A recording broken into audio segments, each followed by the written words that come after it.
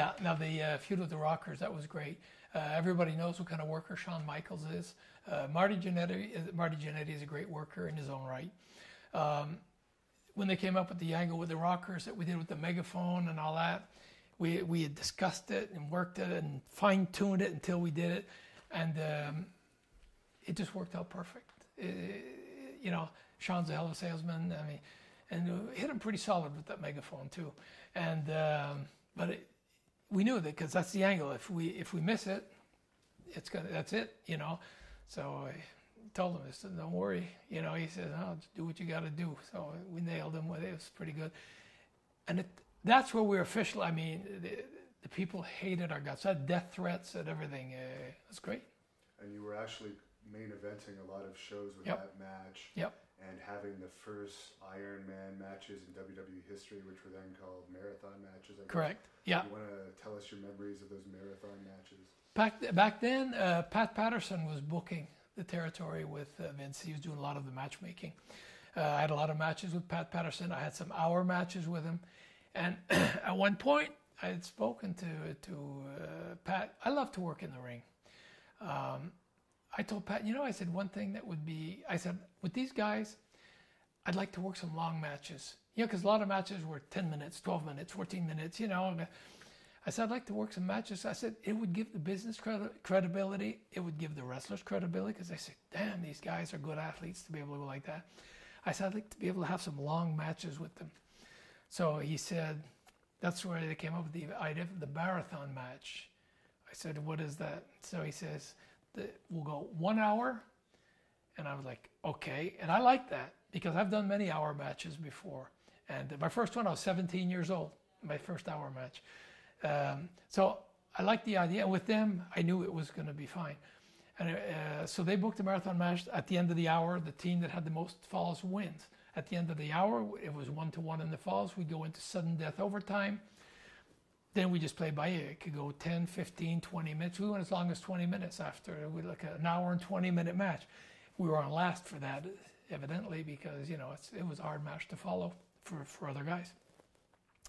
And the, the they they booked a couple of them, and they were like, "Wow!" And the people were it it attained what I hoped it would attain, and uh, for the business it was good. So, so then they booked the but we did the major cities all over, and the one one funny story was uh, we were touring. We were over in Europe for a while. On the way back from Europe, because we were jet lagged all the time. You know, sometimes you wake up in a plane, you look outside, you don't even remember where you're going. I remember that going to Texas one time, coming back from uh, uh, Europe. Take my plane ticket out. Oh yeah, I'm going to Houston. Okay, get you know you get so jet lagged. We fly back from Europe. We'd been there for ten days.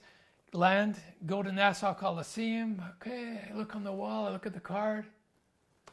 I see marathon match, the Rougeaus and the Rockers.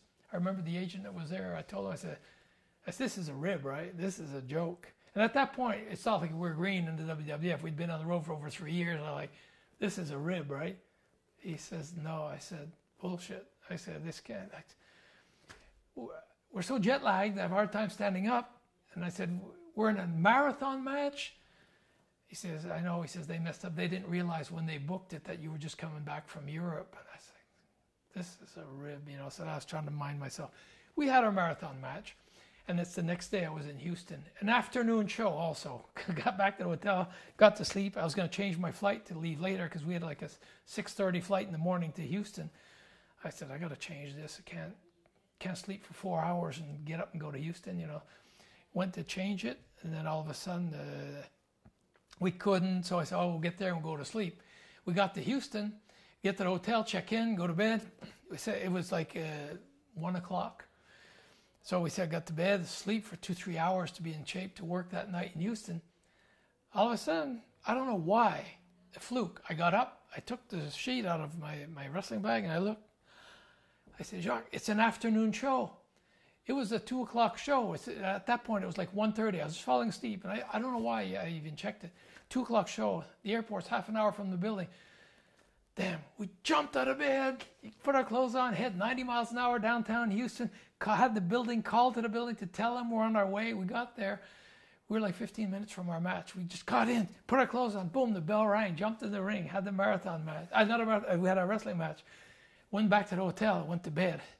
You know, it was, it was crazy like that. But we had great matches. There was one match. Uh, there's only one problem with a match like that. If you get injured early in the match, you can't can't go home early. It's you're going an hour. In Chicago at the Horizon, my brother and I against the Rockers, 15 minutes into the match, uh, Marty Jannetty gives me a power slam, shoots me in, gives me a power slam from the ropes. As I land, his elbow landed in my armpit, tore a ligament in my arm. So we're 15 minutes in the match. I, I felt it when he landed. His whole weight was in the air. Boom, my arm went like this. I couldn't move. I'm like, damn. And I knew it was bad. I couldn't move my arm. I got tagged my brother. I said, I'm injured. We went the whole match. One of one fall to one fall. We win overtime. Uh, that is an injury I still feel today, though. And that was 1989. That one I still feel. that I got back to the hotel at night, kept the ice bag under my arm the whole night. The next day I was in Sacramento, California. On the flight, had an ice bag under my arm the whole flight going to California. You get there, the doctor wants to take my pressure. And uh, I said, oh, but taking my right arm. I couldn't move my left arm. I said, uh, take my right arm. No, no, I want to do the left arm. Well, I said, I just pulled the muscle last night. Uh, I'd rather do it. Let me see that. He went to take it, couldn't move it. He put his, his finger on my armpit. There was a tendon as big as my finger here sticking out like a web under my armpit. He says, You're not getting in the ring. I said, Look, I'm in California. I came here. I want to get in. He says, You can't. He says, You're this close to that snapping and you'll need an operation. You'll be out for a year.